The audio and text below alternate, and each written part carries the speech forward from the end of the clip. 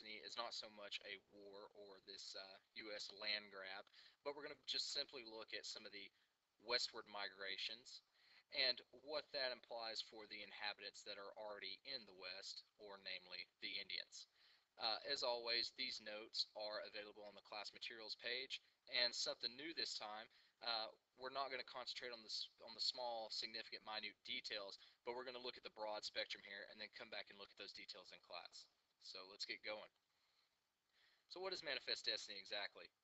Um, well, like I've told you in class before, it was this concept that Americans thought that they had this need to expand to the Pacific Ocean and Mexican territory that the U.S. were supposed to do this because it was a God given right to spread democracy west. And many Americans just simply want to expand or want to move west. Now, there are several reasons for moving west besides it just being simply God's providence or God's will that Americans move west. Some of these reasons are just practical. A fresh start. Uh, Maybe they couldn't find land in the east, maybe it was too expensive, and the promise of a new land out west, a new frontier, seemed like a good place to start anew.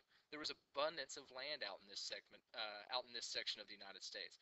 Farming was available. Uh, speculation was also available, and then eventually, as you saw with the, uh, as in the case of San Francisco, gold.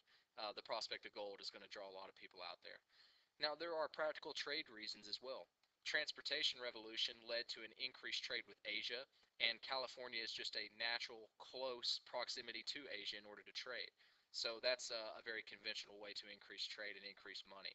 Uh, new harbors in the Oregon Territory are going to help expand this trade with Asia, primarily in China and in Japan. Like I said before, uh, what's already in the West? Well, namely the Indians. They had been moved out there before, uh, primarily thanks to the United States. So you've got more and more settlers heading west. Indians are already out there, and so what do you do with them? Obviously, the, a lot of Americans want this new land. Some of these Indians are simply going to assimilate. We've seen this situation before where Indians just become more like white men. They adopt white culture, they become Christians, and they pretty much just become run-of-the-mill everyday Americans, despite the fact that they're not white there is pressure on a lot of the tribes that don't want to assimilate to move farther west, even farther west of the Mississippi than they already were. Some of these tribes are going to choose to fight back. Uh, this is going to lead eventually to one of the famous Indian wars, the Black Hawk War, which takes place in 1832. In the Black Hawk War, the Illinois militia is going to defeat more than 200 Sioux and Fox. Uh, it's pretty much just a massacre.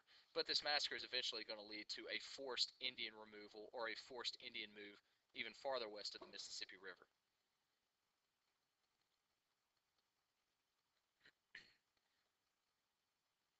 Now, an important aspect or an important relationship dealing with natives that are in the West is the Treaty of Fort Laramie, where because of all these little small fights and wars between settlers and Indians, uh, keep in mind settlers moving out west as a part of Manifest Destiny, and the Indians that were already living there, the government is going to respond to try to curtail this issue.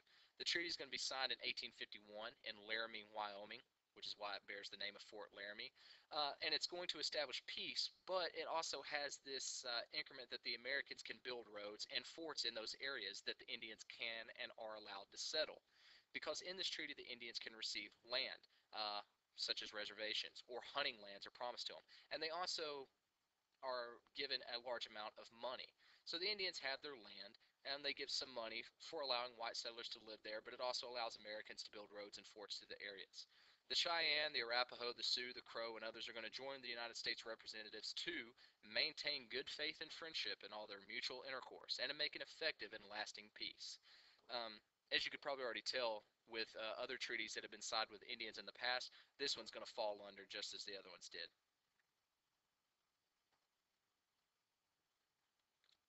Now, a little bit about some of the trails uh, west. One of the first significant ones is the Santa Fe Trail. Uh, it went from Independence, Missouri to Santa Fe, New Mexico, hence its name, Santa Fe Trail. It was roughly 780 miles long. If you traveled this trail, usually you worked with others that were on the trail, so you moved in groups. Uh, the main reason is because of the fear of Native Americans or the fear of Indians attacking the wagon caravans. So people usually work together in kind of communes in order to make the trip out west. Disease and alcohol is going to be introduced to Indians again through these trails. Uh, so the Indians are going to be given mass amounts of alcohol, which is going to cause all kinds of tribal problems, but also the rampant disease uh, of things we've seen in the past, such as smallpox and so on and so forth. Another one of the famous trails that took settlers out west was the Oregon Trail. Now, the Oregon Trail ran from Independence, Missouri to Oregon City, Oregon. And like the Santa Fe Trail, the name of the trail carries the name of the city of its destination. So you have Oregon City, Oregon, the Oregon Trail. Now, the origin of the trail actually came from a female missionary by the name of Narcissa Whitman, and she took the trail out west with her new husband in order to set up a mission works around the fort in the new Oregon Territory. And her attempts to convert the Indians by making this trek over land and over the Rockies, her becoming the first white woman to actually cross the Rockies like this, um, by horse, sleigh, caravan, wagon.